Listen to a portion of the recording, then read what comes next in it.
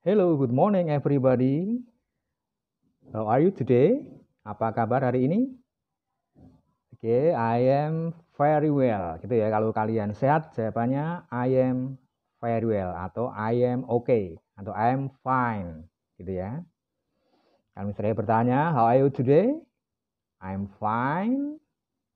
I am very well. I am okay. Gitu ya. Ya anak-anak ketemu lagi sama Miss Reddy dalam pelajaran bahasa Inggris. Kita hari ini mau belajar bahasa Inggris, tapi sebelumnya kita berdoa dulu supaya kita selalu diberkati oleh Tuhan. Oke, kita berdoa ya, tutup matanya. Marilah kita berdoa. Let us pray. In the name of the Father, and of the Son, and of the Holy Spirit. Amen. Glory be to the Father, and to the Son, and to the Holy Spirit, as it was in the beginning, is now, and ever shall be, world without end. Amen. Holy Mary de la Strada, pray for us. Amen. In the name of the Father, and the Son, the Holy Spirit. Amen. Okay, thank you everybody. Okay, children, the lesson today is about clothes and color. Ya, jadi hari ini kita mau belajar masih tentang warna atau color dan pakaian atau busana. Ya, masih ingat ya color ya? Color apa saja yang udah kita pelajari? Blue, red, yellow, green, gray, purple ya dan masih ada yang lain lagi. Yang lain kita pelajari di lain kesempatan. Oke sekarang hari ini kita belajar lesson atau belajar unit 10 unit 10 ya tentang what color is his head. What color is his head? Head di sini artinya topi ya. Apa warna topi dia atau apa warna topinya. His di sini artinya nya ya, topinya untuk laki-laki. Oke, sekarang kita siapkan student booknya halaman 72. Oke, take your student book page 72 halaman 72 ya. Oke, sudah semuanya halaman 72.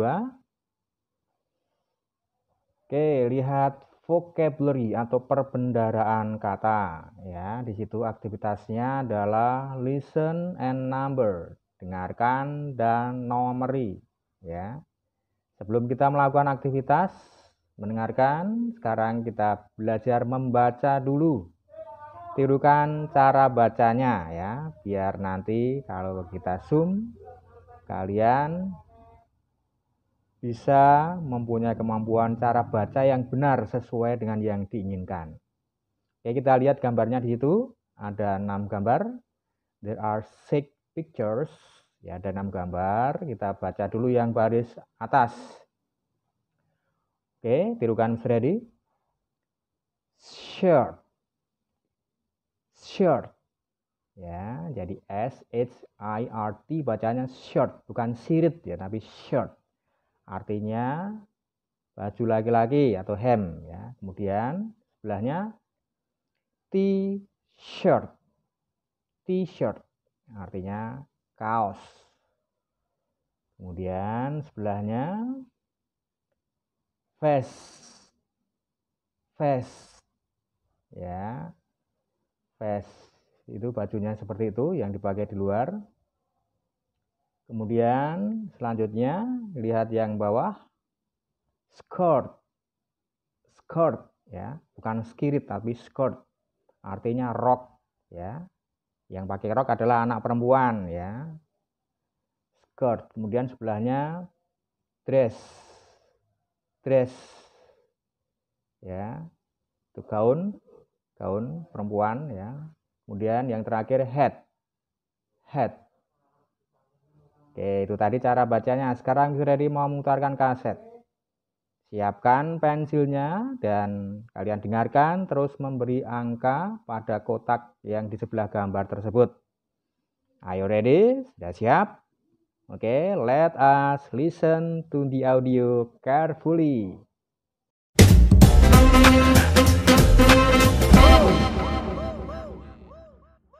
Unit 10. What color is his hat? Listen and number. Number 1. Hat. Hat. Number 2. Shirt. Shirt. Number 3. Skirt. Skirt. Number 4. T-shirt. T-shirt.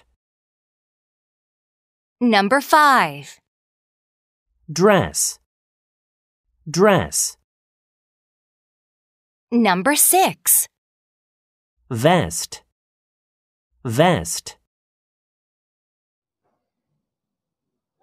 Oke, are you finished? Sudah selesai semuanya?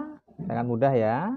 Yang penting kalian tahu cara bacanya biar mendengarkannya bisa benar-benar benar, benar-benar jelas, kemudian bisa menomori angka, menomori ya, kotak di sebelah gambar tersebut. Oke, kita cek number one. Which picture? Gambar yang mana tadi? Oke, number one, head ya, bacanya head bukan hat ya. Head. Number two. Oke, bacanya shirt. Shirt ya. Number three. Oke, bacanya skirt. Skirt. Number four. T-shirt. Oke, bacanya T-shirt ya. Nomor empat T-shirt ya, bukan T-shirt tapi T-shirt. Kaos ya. Kemudian number five. Oke, good. Dress ya, dress. Number five, dress. Kemudian number six. Oke, vest ya, vest. Oke, itu tadi anak-anak jawabannya, listeningnya.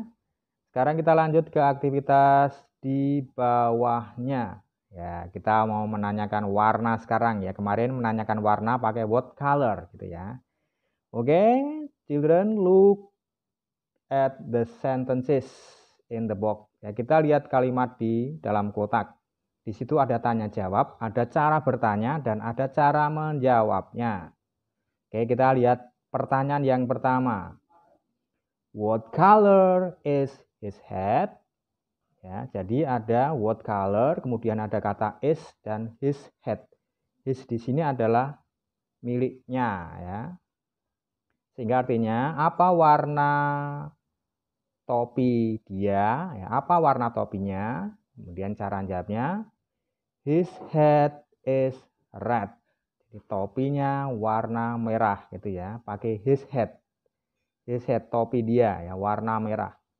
Ya, ini his untuk topi milik ya laki-laki, orangnya laki-laki. Nah, pertanyaan yang kedua, di sini pakai her berarti perempuan gitu ya. What color is her shirt? What color is her shirt? Apa artinya? Apa warna eh, baju dia, bajunya, ya shirt ya jadi hem di sini bisa dipakai perempuan karena pertanyaannya her ya, her shirt. Her shirt ya. Her shirt. Jadi apa warna baju dia? Her shirt is blue. Jadi baju dia warnanya biru gitu ya. Her itu berarti baju dia untuk perempuan gitu ya. Oke, kita ikuti tulisannya di sini. Yang warna merah kalian boleh ganti apa saja ya. What color is His t-shirt, his t-shirt is black. Ya, lihat di atasnya tadi. Atau what color her skirt? What color her skirt? Ya, her skirt is pink gitu ya. Ya, jadi terserah kalian boleh latihan sendiri di rumah ya. Boleh diganti dengan kata yang ada di atasnya. Oke, gitu caranya. What color is? Kemudian sebutkan bendanya. Ya anak-anak, Itu tadi aktivitas yang kedua, tanya jawab. Sekarang kita lihat aktivitas selanjutnya, student book page 73, halaman 73. Oke, student book page 73, halaman 73. Di situ ada dua aktivitas A and B ya, tapi masih listening mendengarkan. Ya, kalian cukup mendengarkan saja bagaimana cara mengucapkannya dan menirukan mengucap ulang ya di rumah masing-masing supaya kalian bisa mengucapkan bahasa Inggris dengan baik dan benar. Oke, listen yang bagian E kita baca, tirukan ready dulu ya. What color is her dress?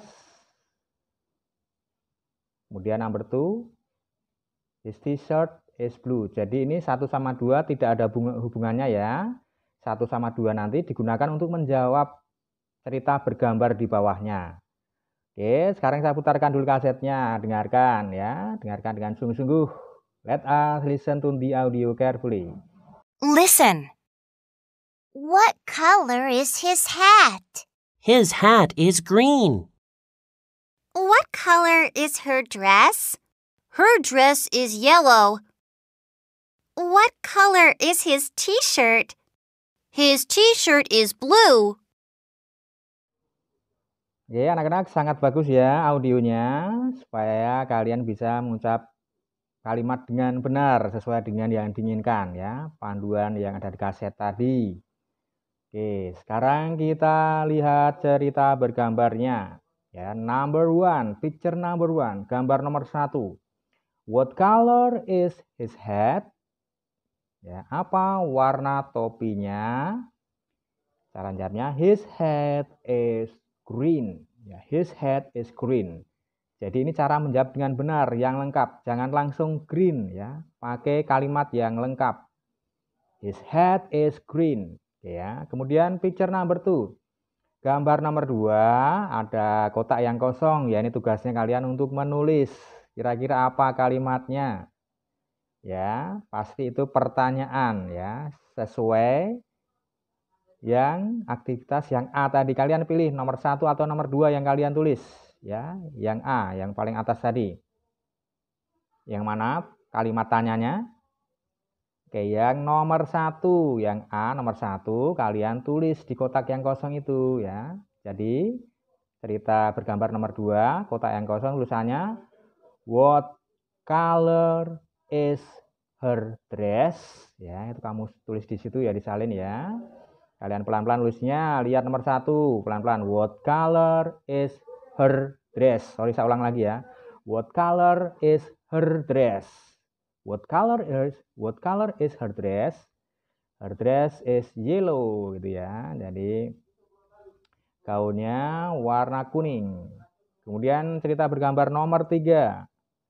What color is his t-shirt? What color is his t-shirt? Kemudian jawabannya apa? Kalian lihat yang aktivitas yang A, jadi yang paling atas. Jadi yang nomor dua kamu tuliskan di situ. His T-shirt is blue, gitu ya. Jadi kalian tulis di kotak yang kosong tadi. His T-shirt is blue. Ya kita baca ulang. What color is his T-shirt? His T-shirt is blue. Oke, seperti itu.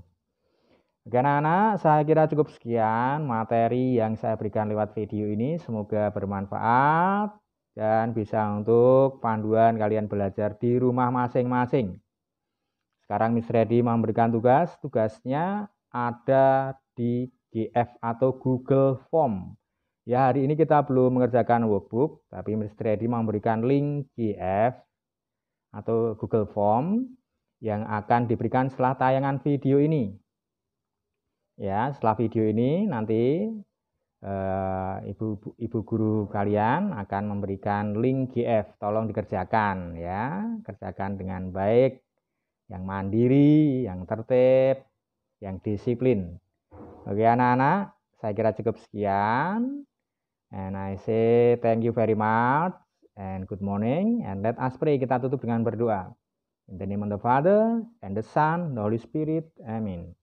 Glory be to the Father, and to the Son, and to the Holy Spirit, as it was in the beginning, is now, and ever shall be, world without end. Amen. Holy Mary de la Strada, pray for us.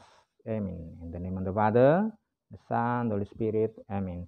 Oke, okay, thank you everybody. Ya, good luck. Selamat mengerjakan latihannya.